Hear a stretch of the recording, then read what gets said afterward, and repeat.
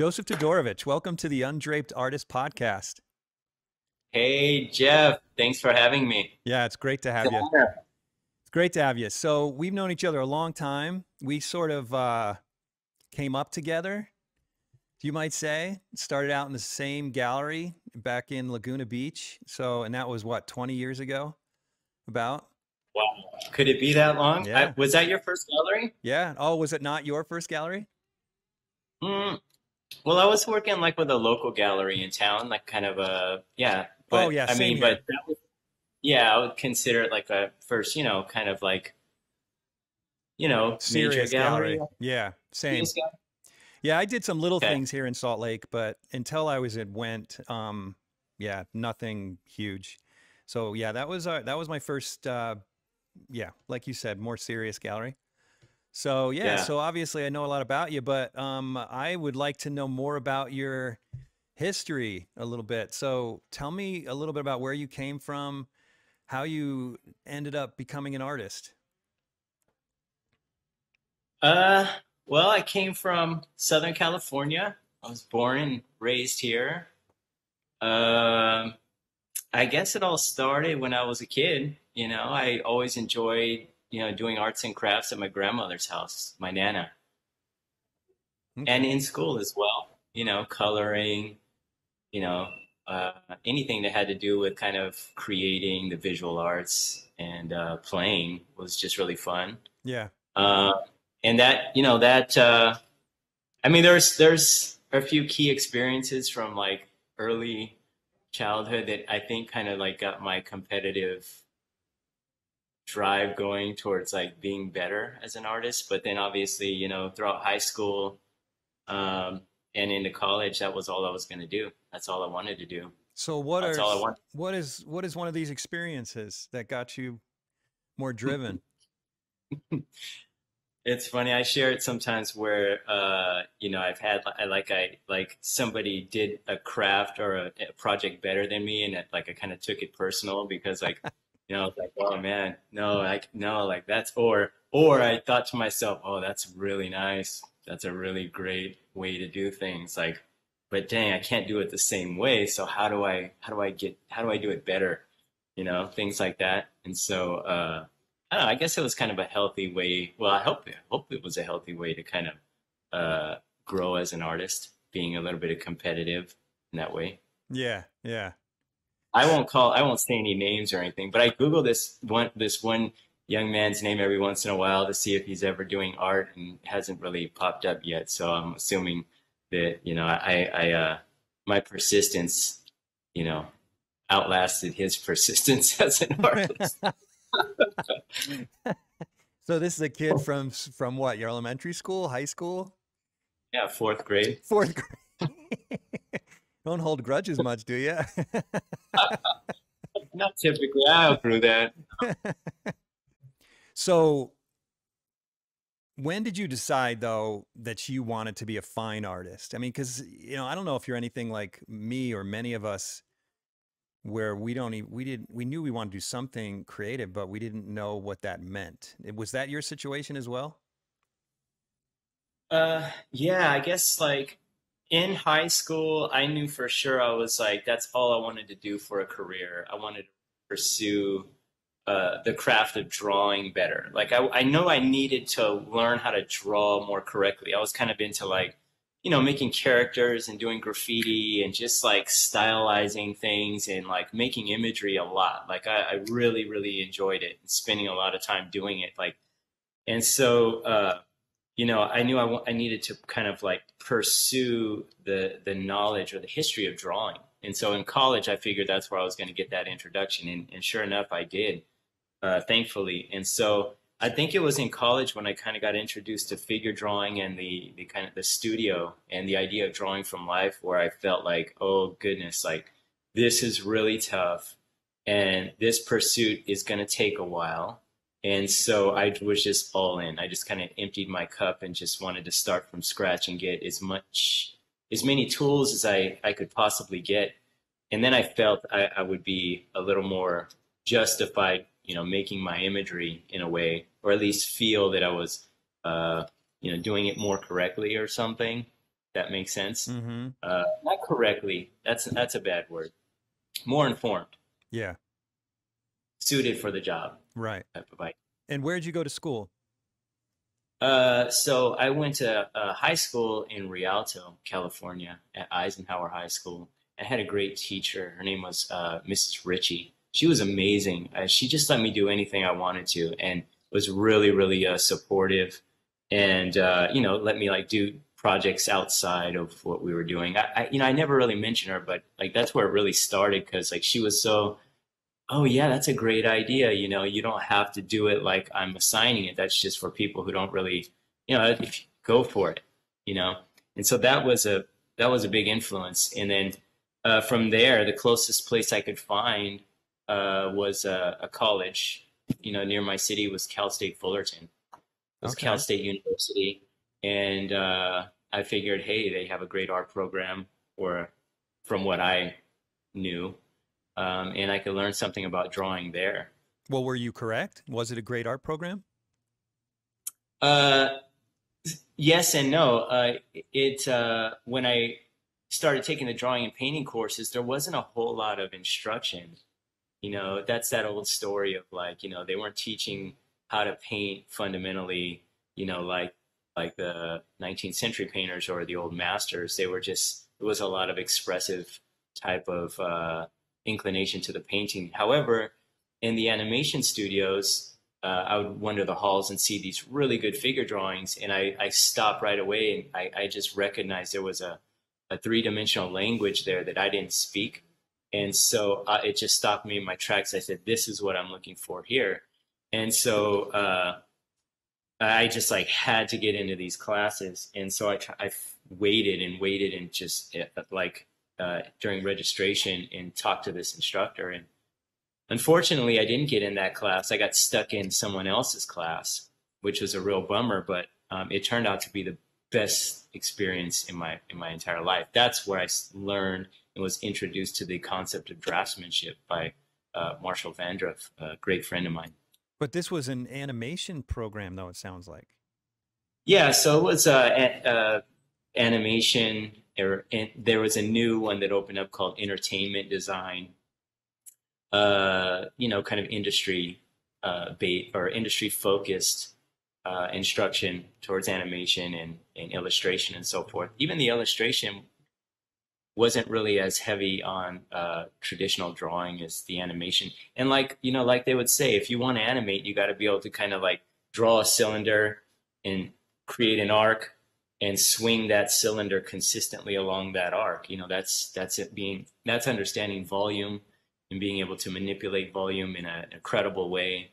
And so, to, you know, the animators really knew how, needed to know how to do that, and it was really fundamental too, simple simple forms, and and so that got me that just like got me hooked because three dimensionality was what I was looking for uh, in high school in order to kind of shore up my drawing Hmm. so yeah, I found I found a lot of good instruction and that and and when I say that, you know, we're talking good old fashioned figure drawing. It always went back to figure construction, if that makes sense. Yeah. So, okay, so then how did you shift from that mindset to to fine art and to painting?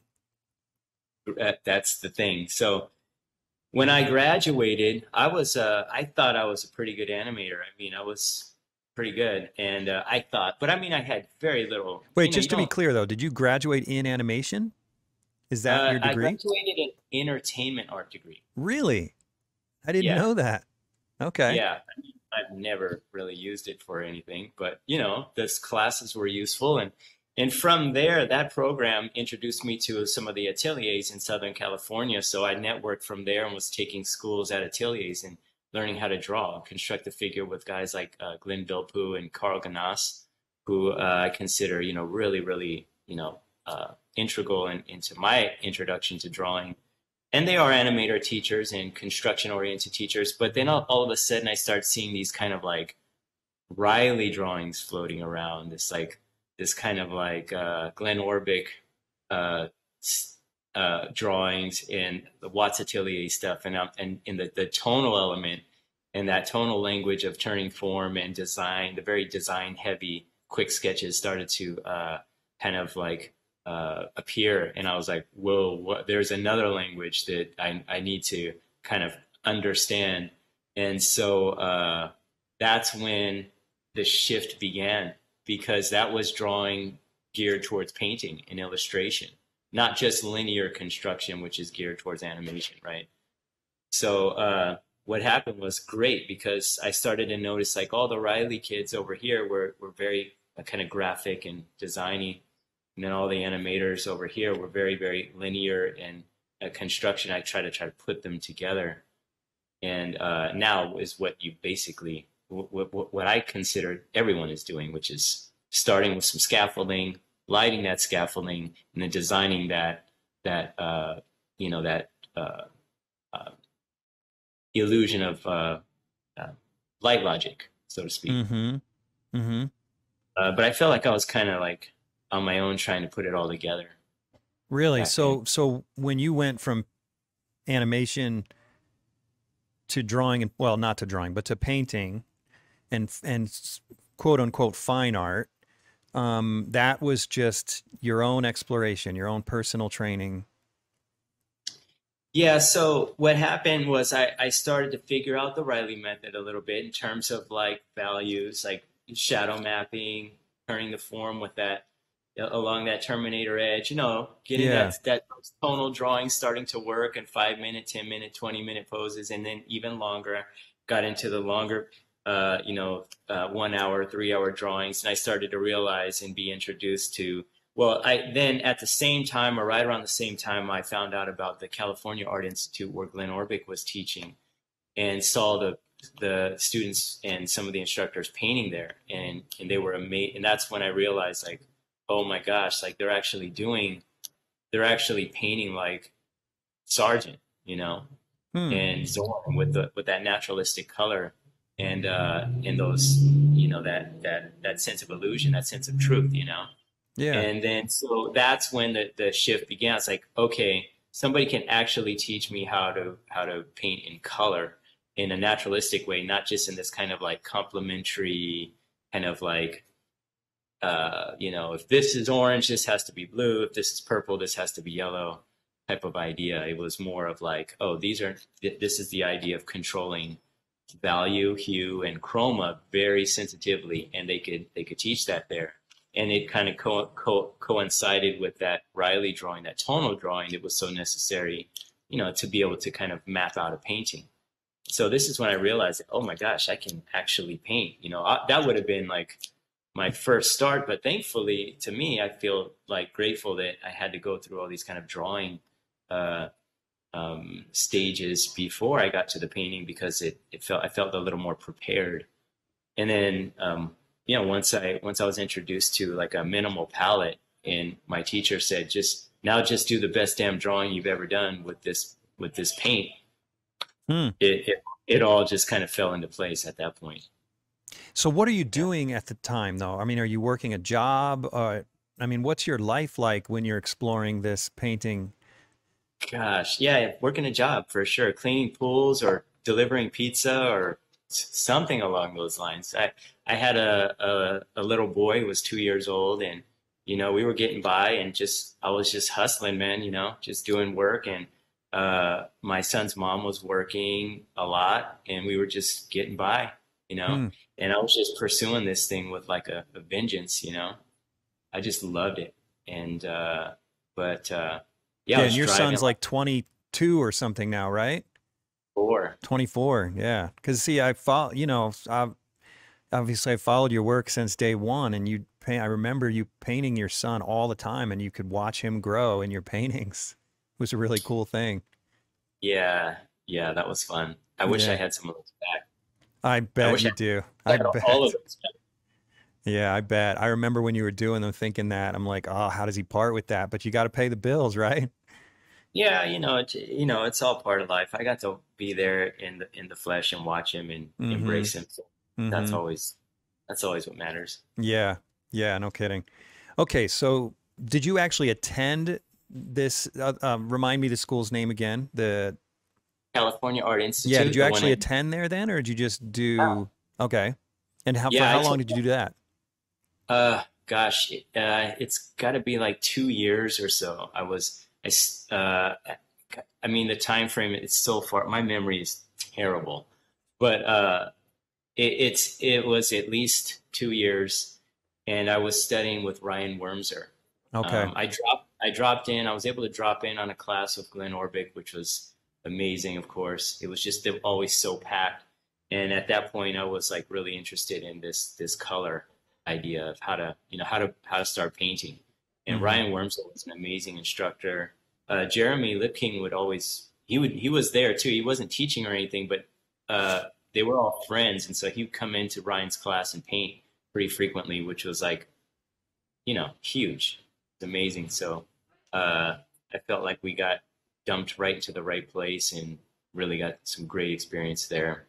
Yeah, I was going to ask about Jeremy and how you ended up becoming acquainted with him. So this is how, and and you guys developed a relationship. I'm assuming after that.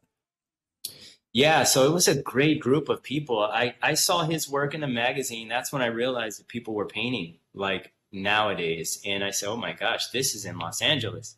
I went to this show. That's where I actually met. Uh, um, it was at Morseburg Gallery way back in the day. That's where I met Ryan, and he he started. You know, we had his he had great paintings there as well. I had never seen his work. It was amazing, and uh, we had a great conversation. He said, "Yeah, I teach this stuff at this place," and that's how I got introduced to everybody there, and started going there. The first person I ran into when I went to the school was Richard Morris, a very dear friend of mine and an amazing draftsman. Um, and uh, a lot of others, Michelle, uh, Ignat, and uh, um, Aaron Westerberg, and Tony Pro, and Greg Pro was teaching there as well. But all these guys were. Morgan uh, Weistling was an instructor there.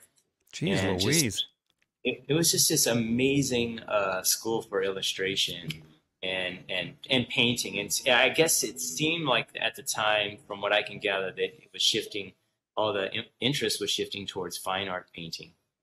And so, uh, yeah, this like this. I mean, we just take these same classes over and over again, and just like we developed this relationship. And this group kind of traveled around. We went to kind of go see a retrospective with Richard Schmid, and we went to Paris, and you know, did all kind of stuff as a group to go see these uh, amazing exhibitions, and just you know, just in um, immerse ourselves in in painting, you know, and discussion as well. Yeah, I remember being in Utah and looking, you know, toward California at you guys and thinking like this is like a little 19th century Paris happening over there. You know, I mean, all of you guys all at once and you all became successful. Have you seen that happen again out of that school? I mean, obviously they're producing some artists here and there, but that was that seemed like a unique time. No, that school is gone. Oh, That it's gone. No longer. So it it it, it frequently gets um, mixed up with the Cal Arts or this one is California Art Institute. There's uh, California Institute of Art, hmm something like that. They share the same three words, but they're arranged different. Um, uh, so this was a small atelier in Westlake Village. That was they shared it with a small ballet school.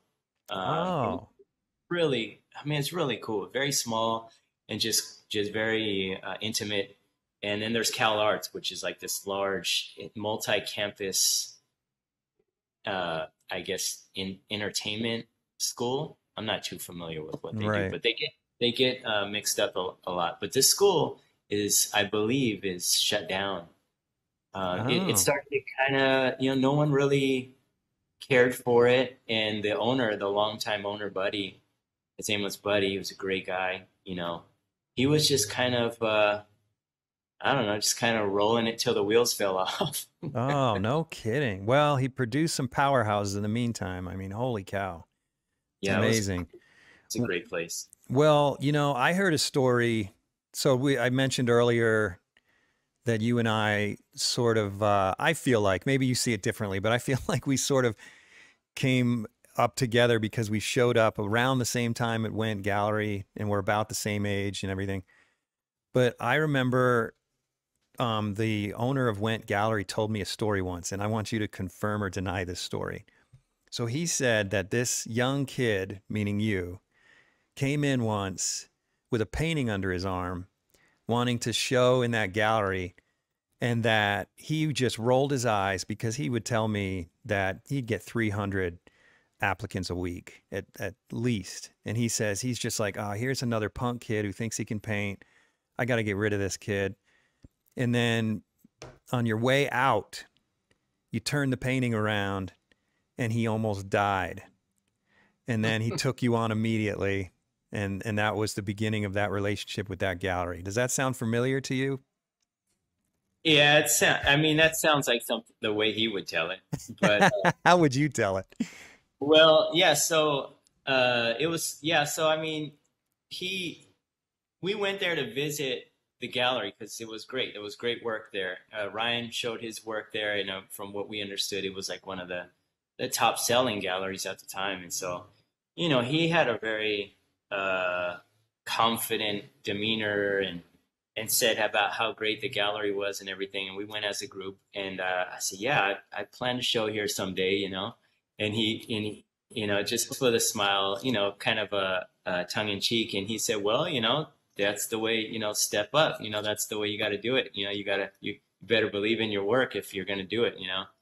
And so one day, uh, I guess it was months after that, uh, you know, I was at a, a fork in the road. I was gonna like I needed to do something because you know I've got a two year old and you know I'm I'm struggling right so uh, I was like trying to get this UPS job I got that I ended up getting this UPS job actually but but that that's later but anyway I was just struggling I said I said you know what like he said step step it up or step up or whatever was he I implying said, that you need to like start low and work to him work up to him yeah he was implying like, well, step up. Like, what are you, what are you doing? Oh, like, okay.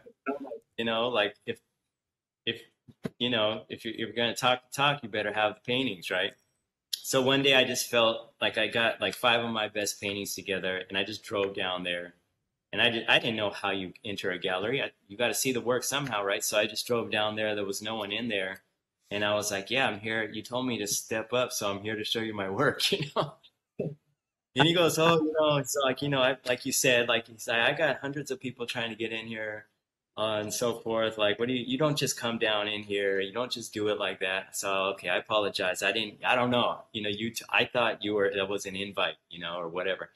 And so I said, okay, well, thank you for your time. And I was leaving, and then he's like, okay, well, well, let me see what you got. And then that's when that's when I, I showed him the work, and I said, I got a few more too. And he's like, okay, bring them in.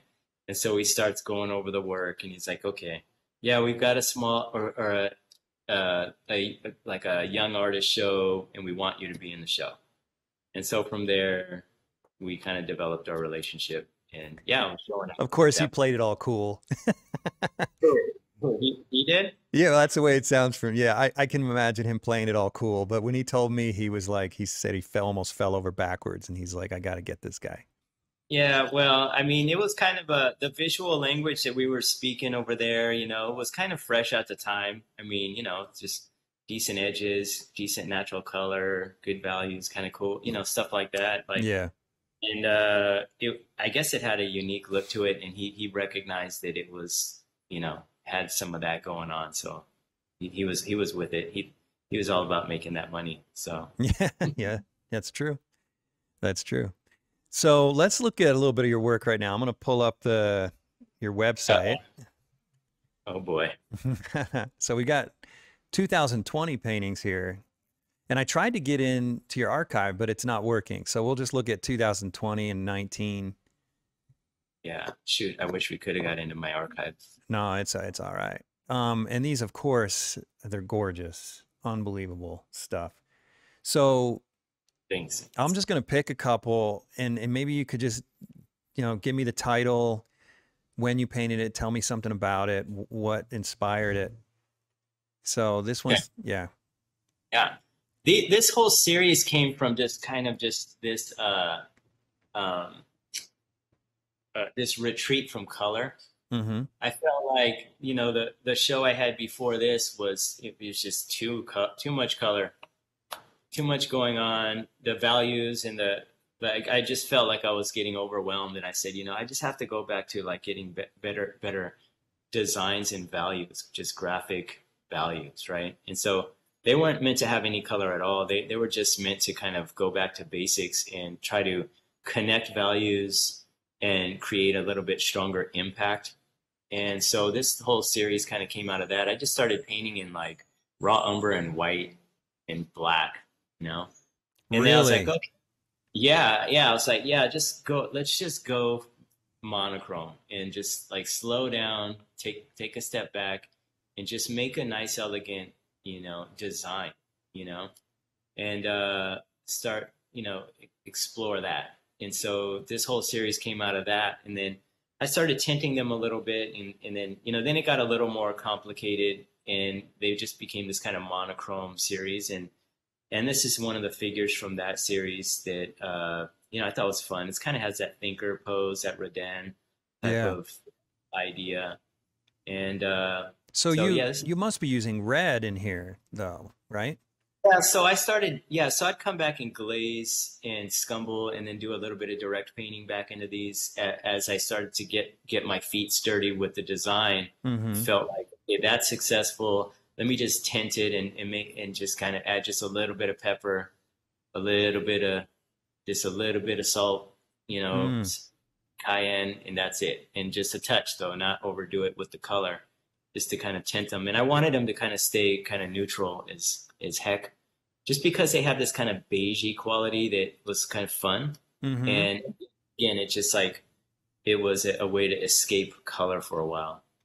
Yeah, you're making Zorn seem like a wild man with that palette right there. Yeah, I mean, you know, it's, it's just a return to drawing. I think, Yeah. you know, it all, drawing never goes out of style. No, Yeah, and I draw. it's gorgeous. I mean, tonalism has always been I mean, it's a beautiful thing to simplify down to just value and design. Yeah. So Yeah. really you're working with maybe 3 4 colors max here. Yeah, Okay. definitely. Raw um, raw umber, a mix, probably I think I used a uh yeah, raw umber, ivory black, and then, you know, some flesh tones like some some ochres and some alizarin.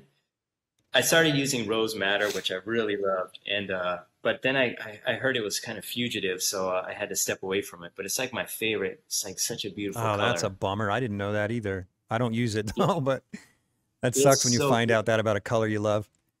Oh my God, it's just so that's just the story of my life. Like, you know, like oh, it's like my favorite. I just immediately um like it just I resonated with that and then all of a sudden it just I heard that and I was like, mm, Mm. probably I stopped using it, you know. So you have two of these. Tell me about these two. Uh So, I only have one up, obviously, approach, but I'll, the next one, the other one's next in line, correct?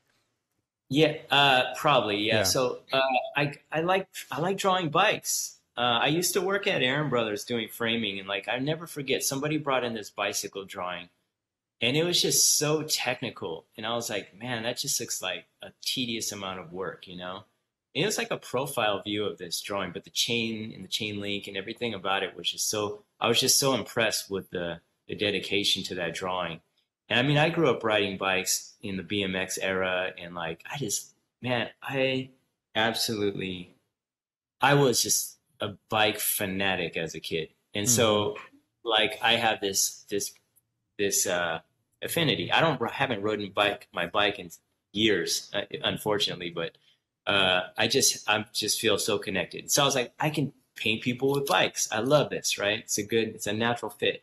So I started doing these, and I just thought that they were really fun. Um, this is a place in Chino Hills that I like to paint at, and it's you know it's got that kind of landscape quality to it. It's really local, and uh, I just started playing with this series a little bit um, yeah, just made these paintings with the uh, the same model, Jade. She's great. Oh, She's so let me go back because we can't. So it do, it's not the next one. Let's see.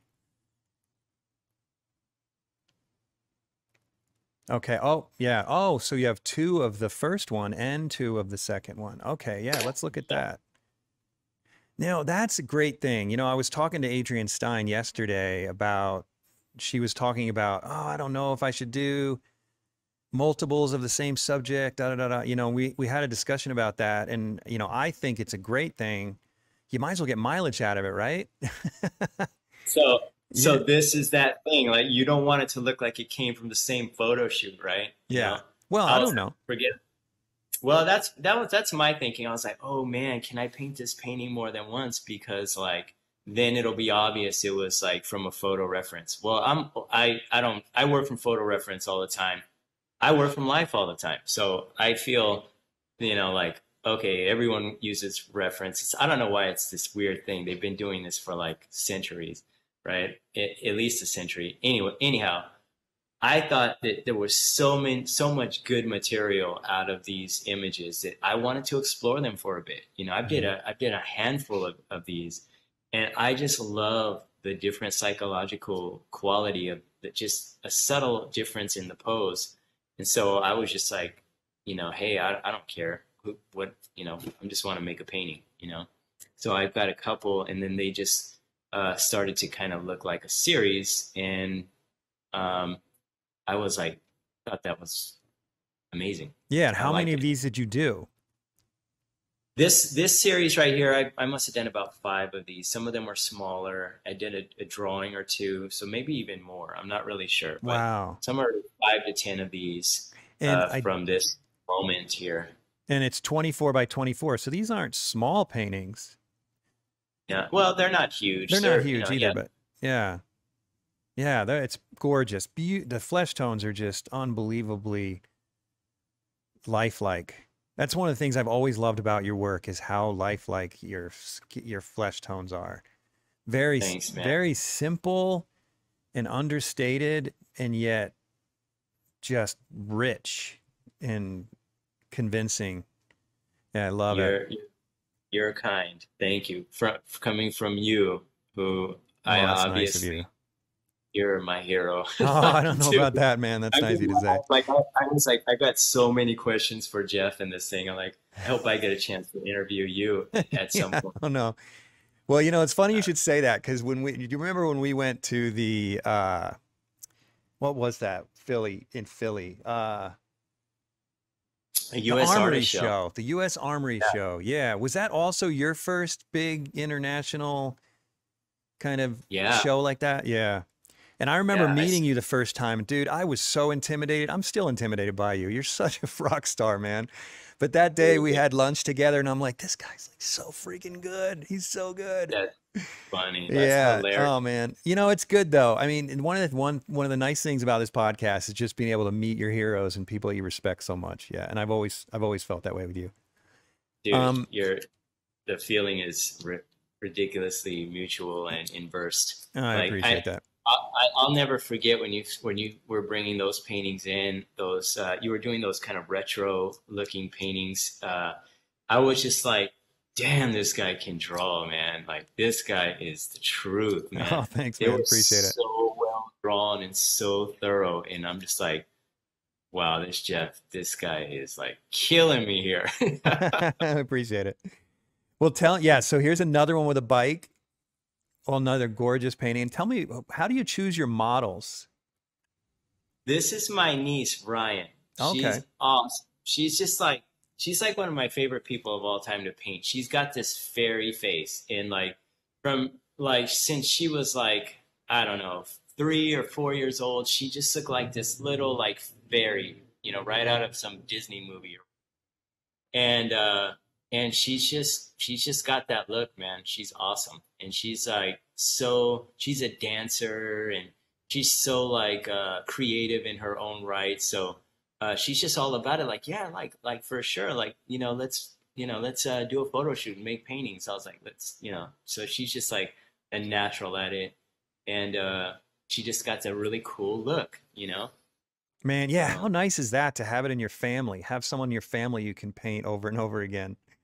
Yeah yeah and now she's like grown up man she's like like gosh she's got to be almost 20 now so you know they're like uh not that interesting anymore uncle joey like you know go find Oh, she won't let you do it anymore? No, no, she will. She will. They just they live pretty far now. You know Oh, bummer. Mean? Yeah. Yeah, so, because you know, when you get a good model and then they move away or they just lose interest. It's like, no. I, I think I've come to realize that's just the cycle. Like they It go through is. cycles same as we do, you know, and and that's that's that's natural. That's all part of it.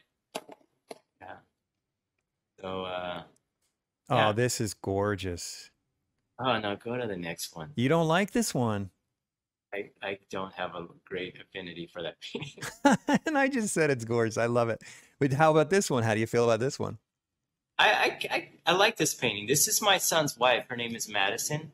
We call her Maddie, uh, and she's awesome. And uh, this this painting is actually going to be in the uh, gold medal show. I entered it in the gold medal show for the California Art Club. I haven't been in it in a while.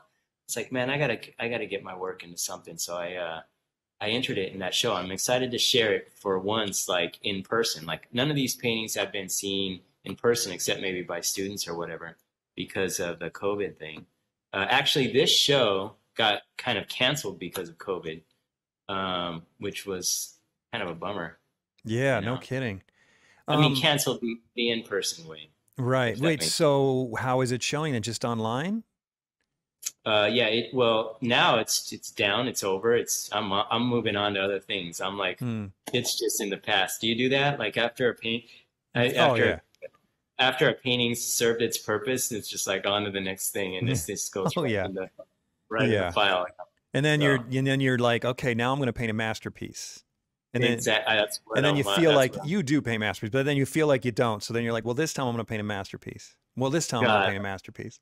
I'm just chasing that feeling, man. Like I, I'm in hibernation right now. Like I've actually haven't painted anything worth a damn in like uh, over a year. So, but that's okay. I've done a lot. I've been, you know, painting, uh, just doing demos and and culminating. I'm just slowly brewing this this brew, and I'm I'm in hibernation, and but I've got something cooking, and so I'm excited. Oh man, kind you know how good that is to hear because I'm in the same boat. Like, and it's nice to hear that other artists go through that where you just need some time.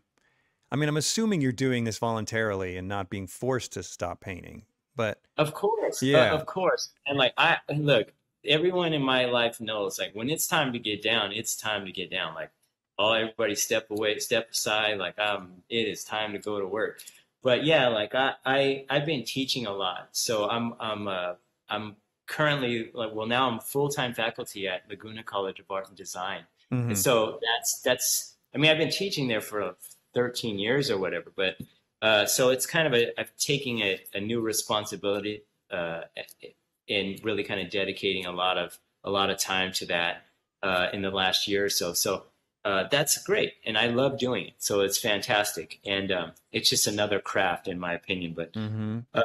but so as as the dust settles from all of that and it's like you know everything falls into line i'm like constantly there's something brewing you know that that feeling is just like oh boy you know i got to get back to that easel and and say something you know yeah, and uh, it sometimes it feels like you need the time away to to get that drive built up to a point where it just wants to pop.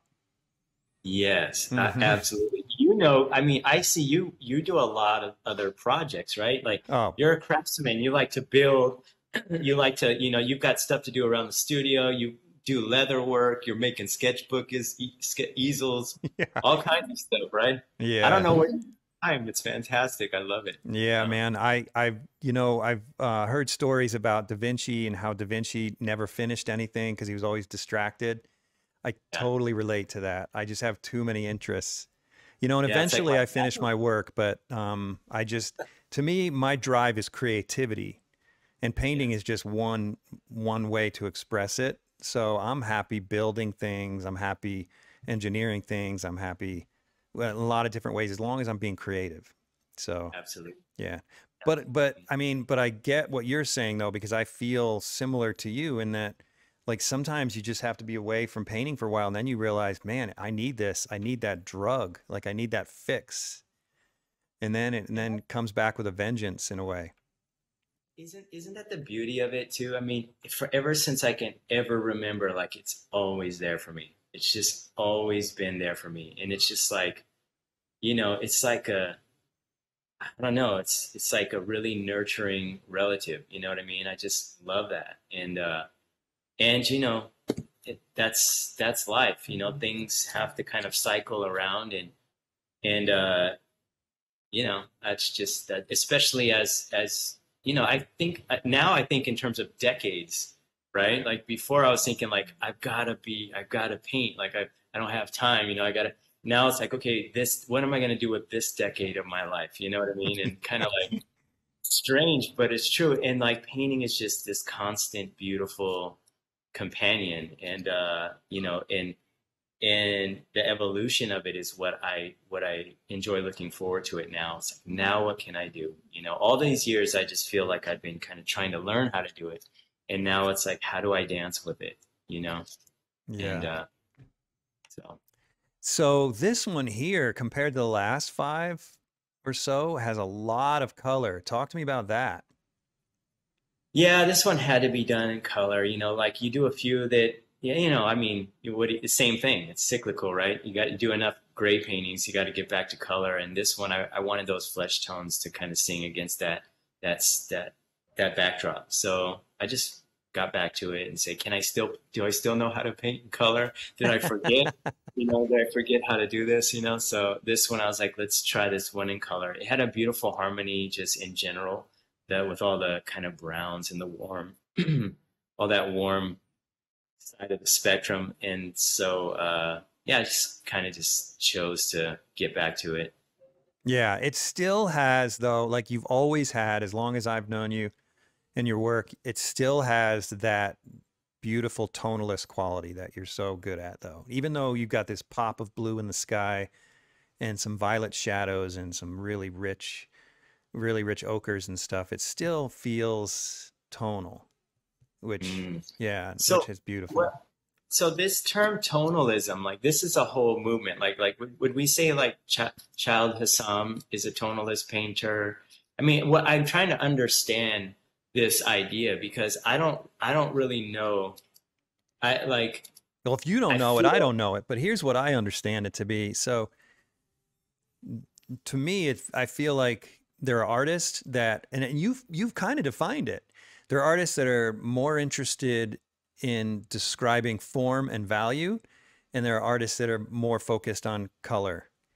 And and so, like I like I'd mentioned before yesterday, I interviewed uh, Adrienne Stein, and she has color okay, like I have never seen, and she can manage it like a, like no one I've ever seen.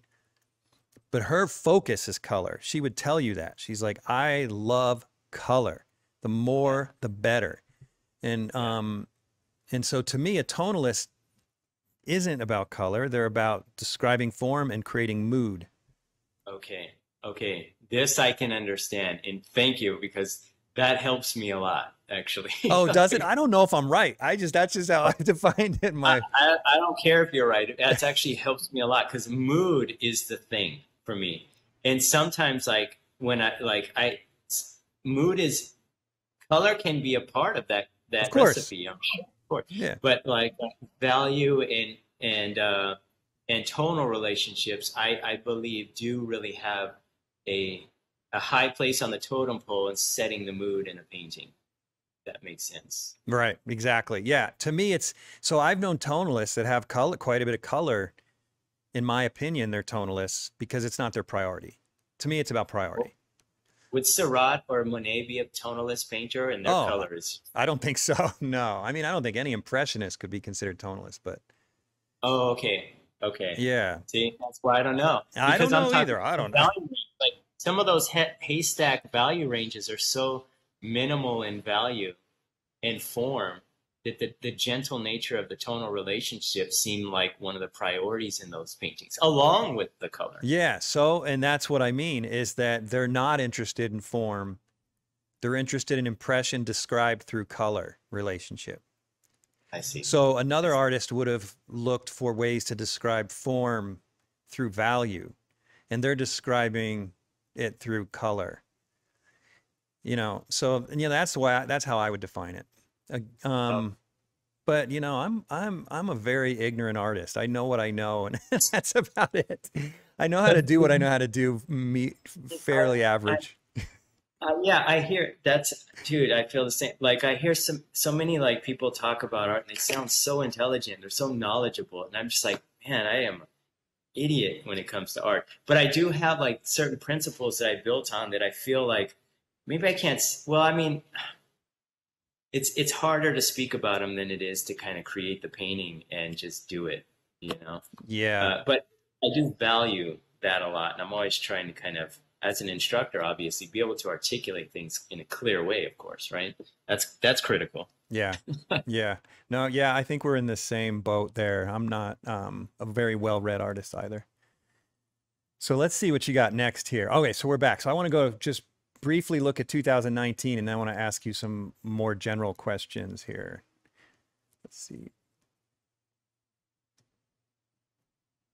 I wish I could have seen some earlier paintings. I wanted to see some of your paintings from back in the early 2000s, but just to see the difference. Oh my gosh. So tell me if there's something you don't want to look at, but this painting jumps out at me.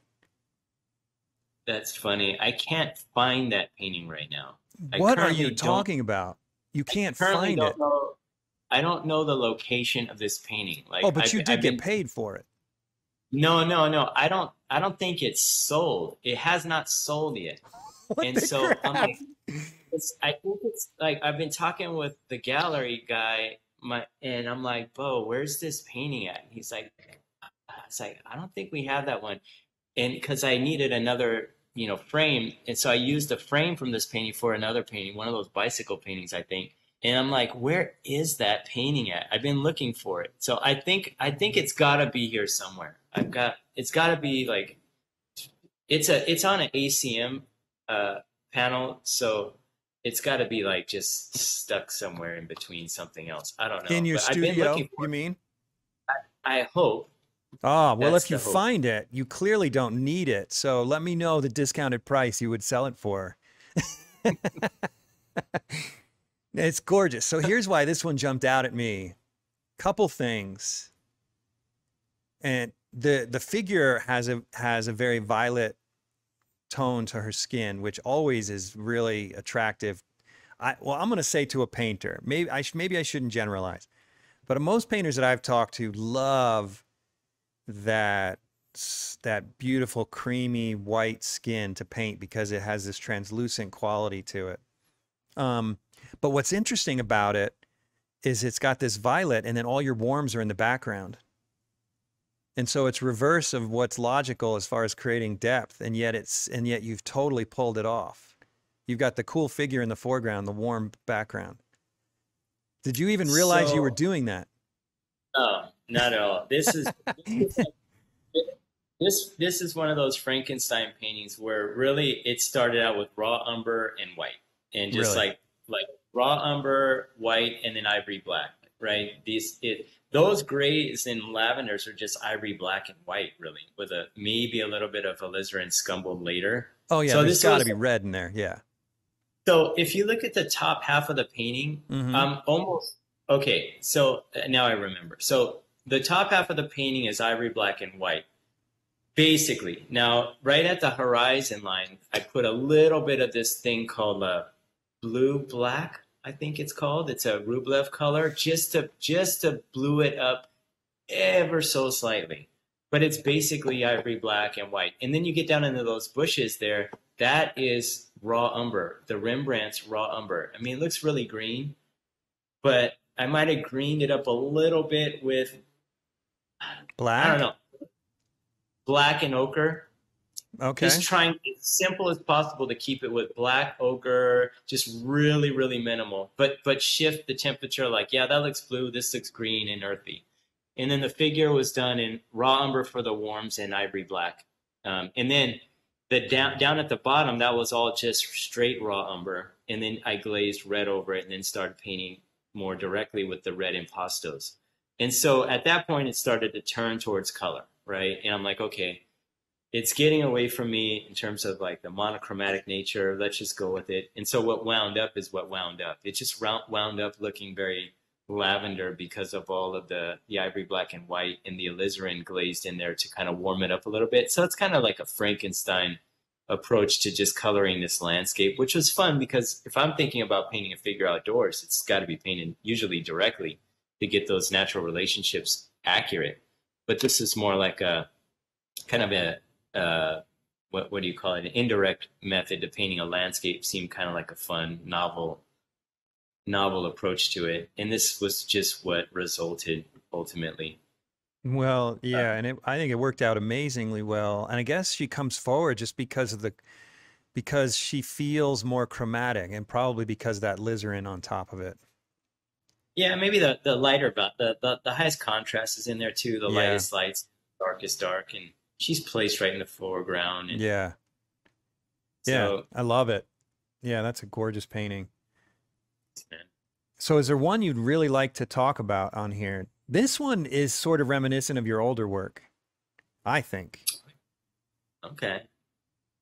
Um, thi- yeah, this is this one started out from life, and then I finished all the hair and the, the kind of Rapunzel idea from from a reference, and it's just a figure study. You Mm-hmm. know, it was same thing. It's in it's monochrome, and uh, God, yeah, I wish we I, I wish we had an older painting or two in there. I think if you go back, like this one called, if you go back to uh, this one right above it, Okay, this that this sort of reminds me of your older work as well.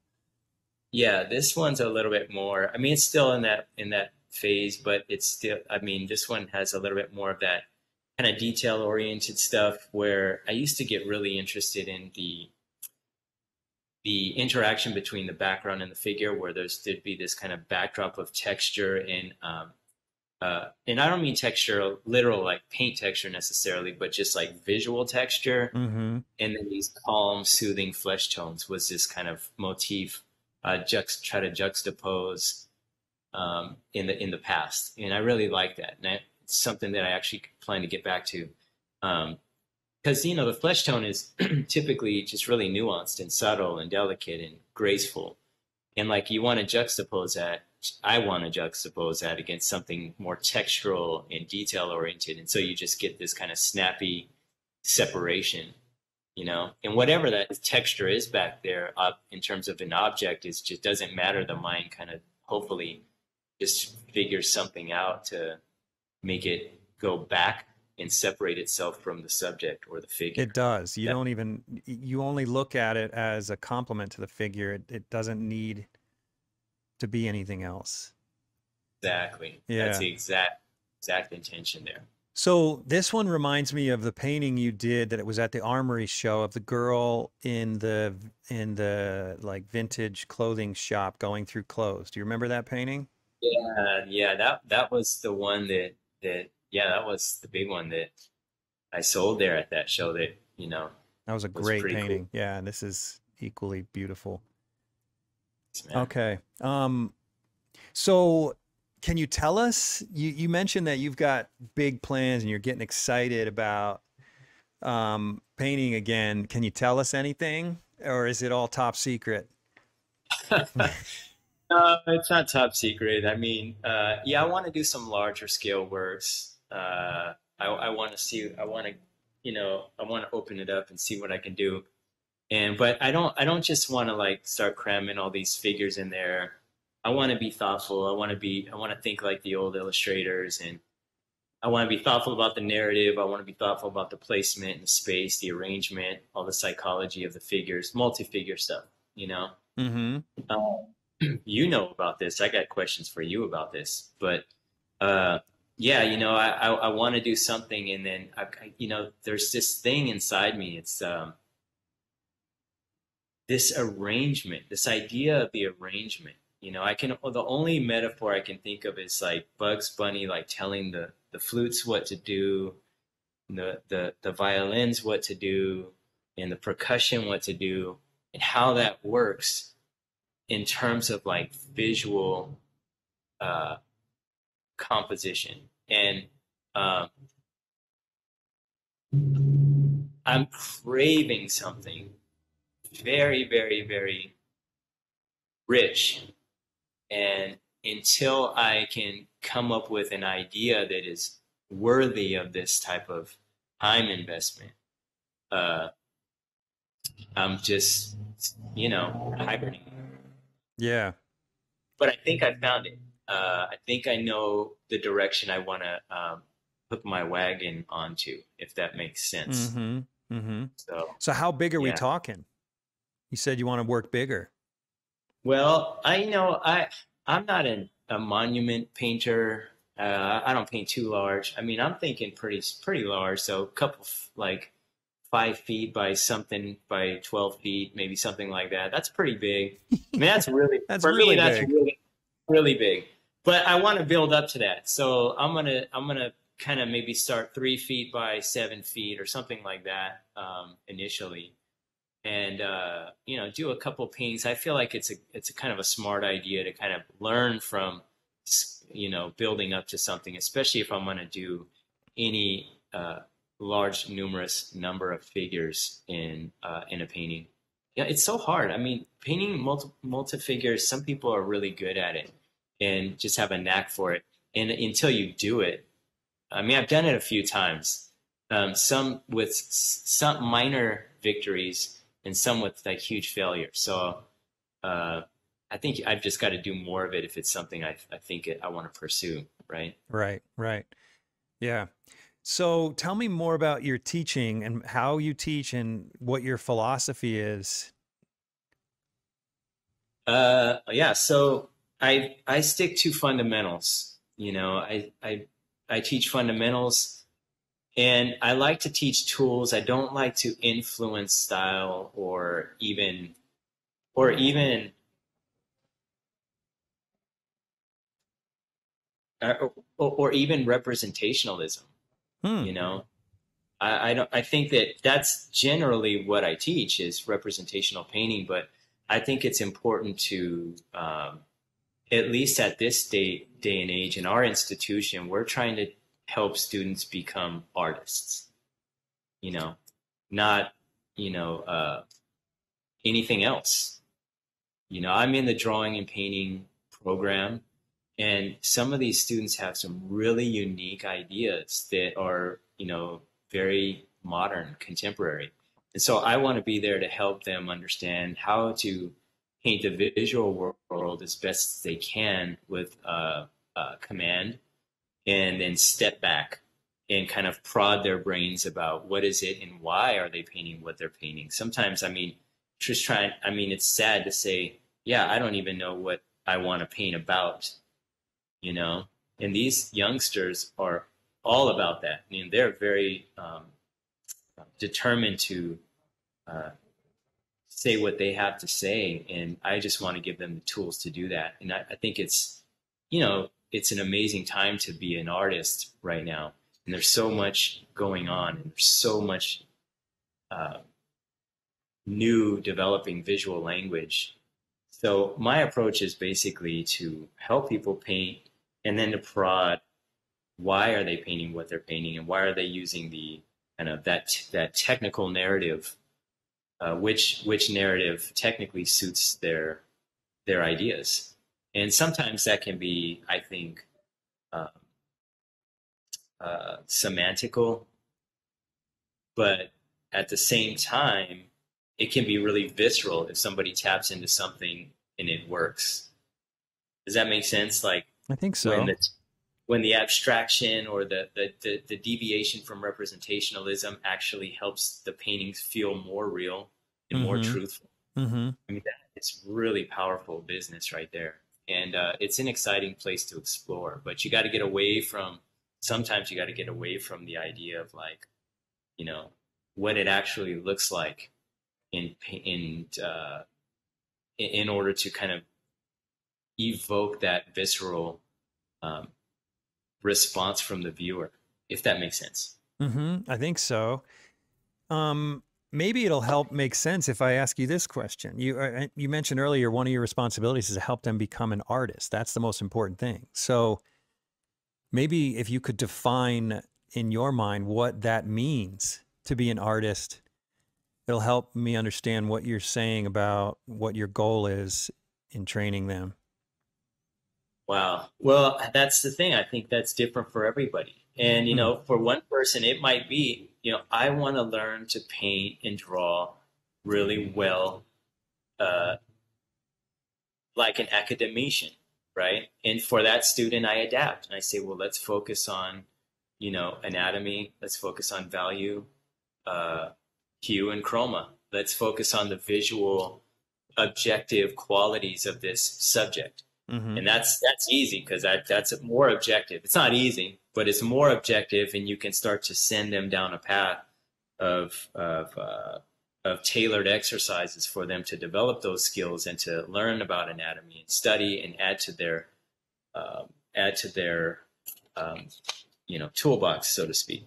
And then you know there's other people who who just uh, they only need to represent the visual world to a certain degree in order to play to play or work with the materials in a way that's more interesting. And so um, in that way representationalism is out the window. It doesn't really it, it's not the priority for some people. And i'm talking about work that's really quite powerful you know like um, I'm not going to say any names, but there's a lot of representational artists that border on abstraction, and we all know how important abstraction is to representational painting. I'm I'm speaking about the surface quality and the construction or deconstruction of the painting and the grappling with the image in order to kind of create patina, yeah, or to create this this this uh, this um, surface quality that just can't be done in an alla prima session necessarily. I mean, well, you know, you're doing that here. In I'm trying. One, no, you are. I mean, that, that background is barely representational. It's very abstract. Right. I would argue anyway.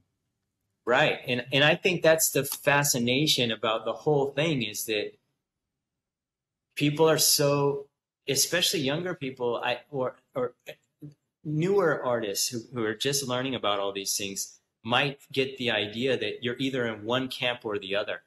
And I think it's fun to have a variety of minds working together and, and bouncing ideas off of each other and recognizing the, con- the, the connectivity of painting uh, versus the, the, the kind of difference in, in it. You know, ac- academic painting is so valuable to learn skill and to make beautiful paintings but uh, so is abstraction. It's really important to play with your materials just for the sake of of creating interesting surface quality.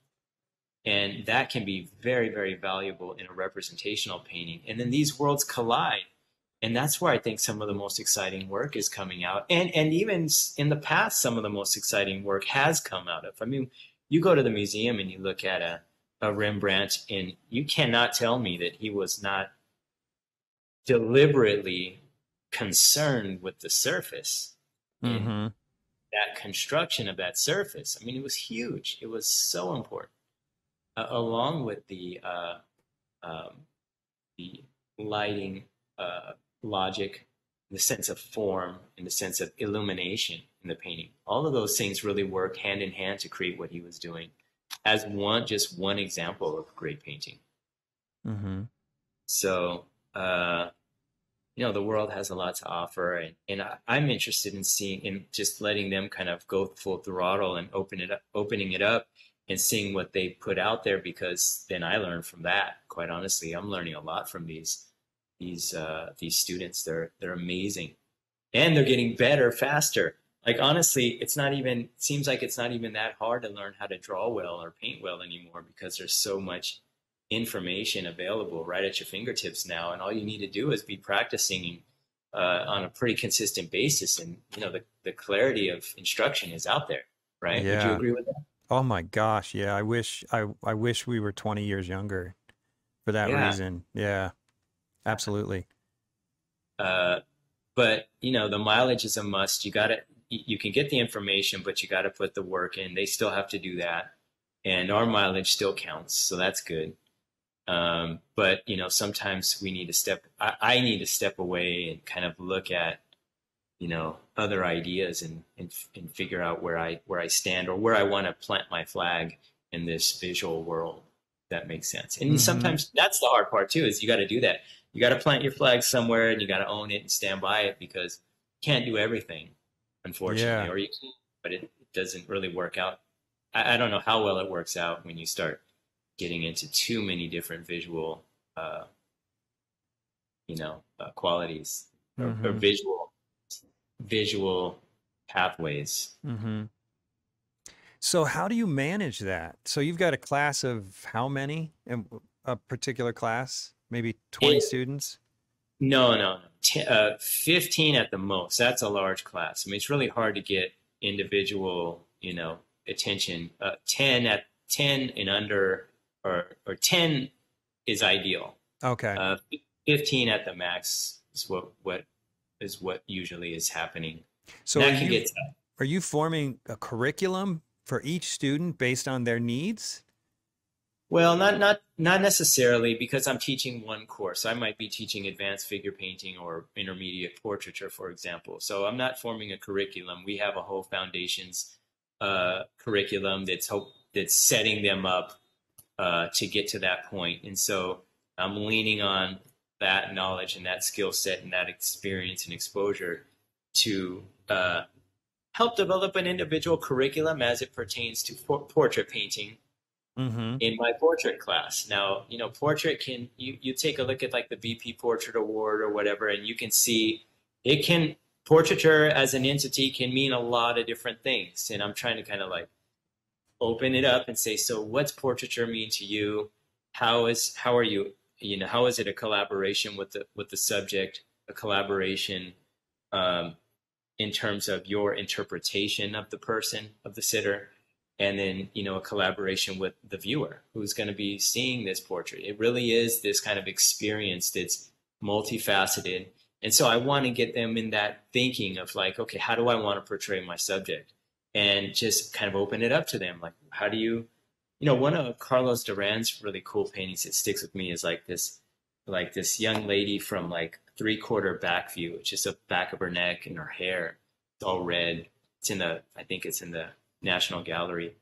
But, you know, it's just portraiture can just mean a lot. And so mm-hmm. in that way, it, it it's, uh, yes, we're going to do tailored exercises of painting directly and so forth, but I also try to kind of, uh, evoke other ideas of portraiture and get them thinking about what it means to them in a very unique way hmm. and hmm. hopefully balance that out in an effective way you know inevitably a lot of uh, a majority or at least half the students need to get back to basics right don't we all yeah but that's what i'm there for and you know we can have those discussions and create tailored exercises to get them on track and stay on track with that so it's a combination of balancing that exploration of of ideas and this uh, uh, fundamental set of, of tools that's going to help them execute those ideas so let me see if I understand this correctly. Um, so is what you're saying that you're teaching them fundament, fundamentals, academic fundamentals, how to draw accurately, paint accurately, um, and basic principles of chroma, hue, saturation, whatever. I'm not, I already said that, uh, value, and so on. Yeah, edges and so on. Um, but you're allowing them space to express themselves while still following the curriculum and executing yes. the assignments. So you're not looking for a bunch of clones of Joseph Todorovitch. You're looking for people to fulfill the assignment, but yet giving them room to be creative and explore other things. That's our goal at the school for sure. Okay. You know, we, that's what I mean by we want, you know, we want to create individual artists, you know?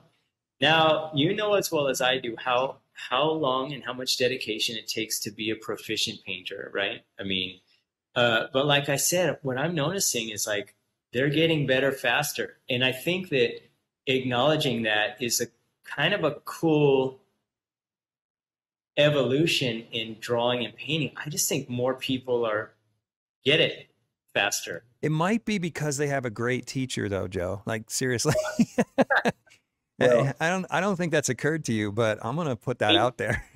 We have a great program, and we teach fundamentals, and we hit it hard, and we we do it. You know, we do it well, and and and I appreciate that. I ho- I like to think that, you know, when it's time to demo and get down to business, you know, I, that's what I'm here for. So I Mhm. want to ground. I want to be that grounded common denominator. And when you got to get back to the good old basics, like I said, drawing and tr- good old drawing never goes out of style, right?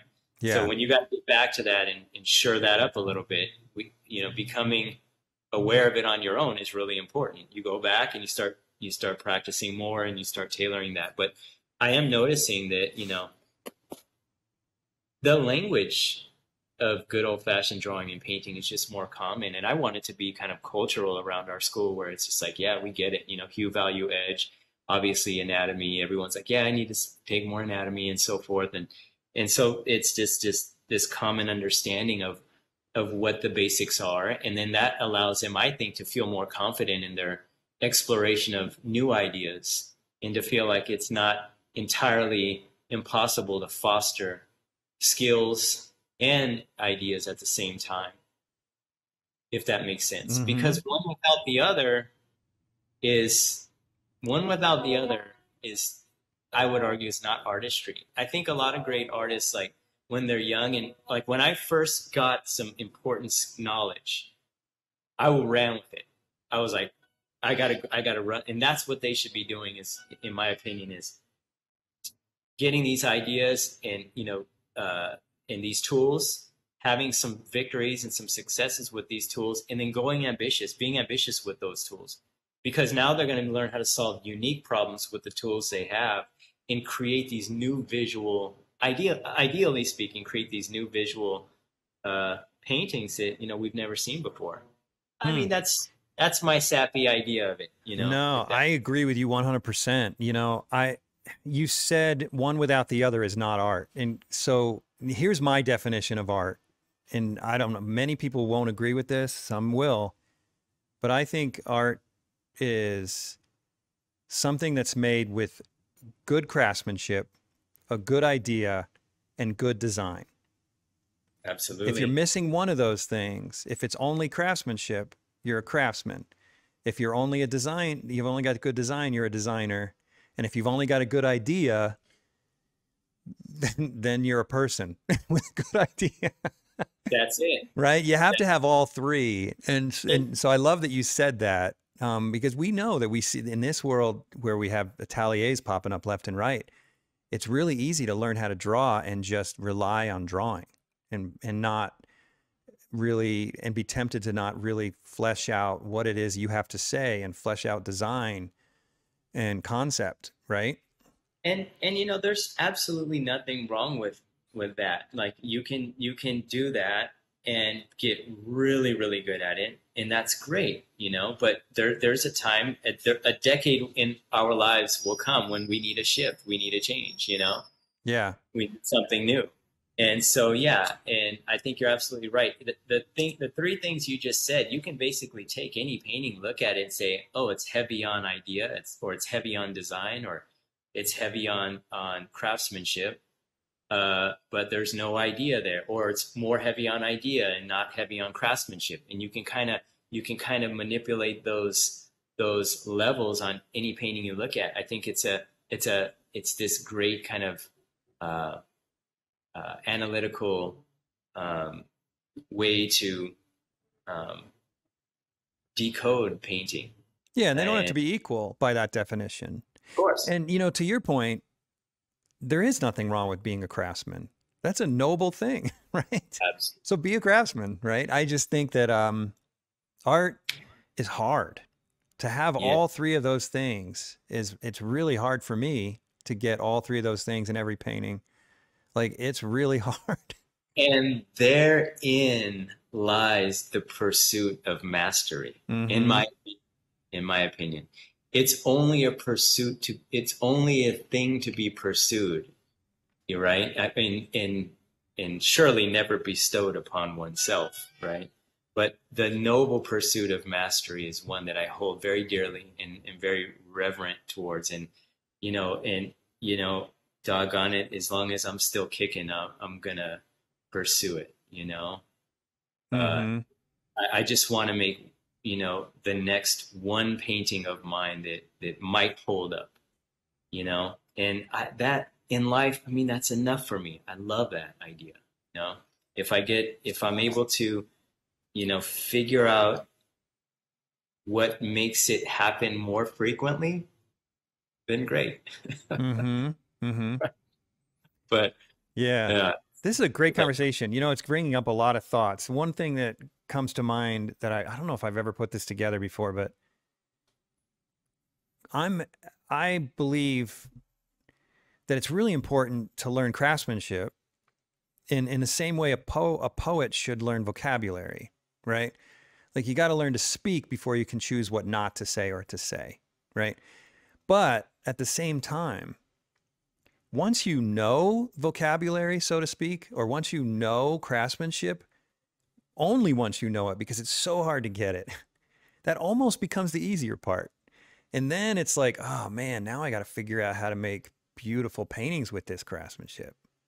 I It's like, oh, that's the hard that then it then you realize just how hard it really is, right? I I just got chills, you know, like it's such a good it's such a good analogy. Poet poetry is when I hear the words of a good poet describe a feeling, I am just so in awe because it's so difficult to use words in a way, especially being a, vi- a visual storyteller. It's so difficult to use words in an effective and an artistic way.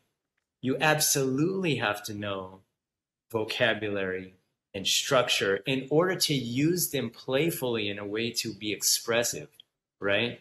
I mean, I that's just a really good analogy. I love that, and I it just gives it sends chills up my spine to think about the arts are the thing that helps us do that, Mhm. communicate at that deeper level, and it is something that's really challenging and can uh, and be a lifelong pursuit. You know. Yeah, it really is. So, all right, so we're about at the end of this conversation. It's been a great conversation, but I got one final question for you. If um, you could give one piece of advice to aspiring artists that you wish you had when you were starting out, what would that be? Um, only one, huh? No, you can give two, three. We, Uh, we well, can go over time. I, I mean, um, you know, I think, you know, when I say one thing, it leads to the next, and you know, ultimately, all of them kind of funnel in for me to this this notion of appreciation and gratitude, like, you know, just that it's almost a spiritual thing where just every breath is so eh, the, the older I get, and I've got you know two young, beautiful daughters, and like every breath is just so sacred to me, and the gratitude. If you're working from that place, then everything like the advice I was going to give about developing a good work ethic, you know, uh, you know, being organized, you know, learning a little bit about business, you know, all of those things kind of spring from that root of gratitude, so that you're fostering this this this very special life journey that you have um, to do the thing that you love, which is you know make paintings. If you're an aspiring artist, so you know it all goes back to to that, and just be thankful and you know work hard and stay stay focused, and um, I think that that that can lead to some some true happiness, at least from my experience. So I'll, I guess I'll put it like that. That's awesome. That's great advice. I really appreciate that. And it's been a great conversation and huge honor to have you on the podcast. Thanks, Joseph, for being my guest. Jeff, Jeff, the honor is all mine. I am such a fan of your work. Every time I see something come out, I'm just like in awe of That's too nice, man. Appreciate it. the, the excellence of your work, man. Re- seriously and truly. And one day I hope to pick and prod your brain about some specific things about your work that I think can help me in mine. So Thanks a lot. until we until we speak again, my good friend. All it's right. nice, nice talking with you again. Same to you. Take care. Thanks for tuning in to the Undraped Artist Podcast. If you enjoyed it, subscribe. And if you could, leave a comment or review. That really helps the channel. Please share the show with your friends, and if you're feeling generous, consider a monthly donation at theundrapedartist.com. Thanks again for watching. We'll see you next week.